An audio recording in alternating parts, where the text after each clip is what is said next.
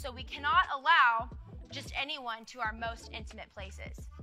If they don't know what's on the inside of you, they shouldn't be your friend.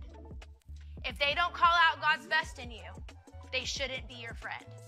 If they cause you to sin or they distract you from God's plan, they shouldn't be your friend.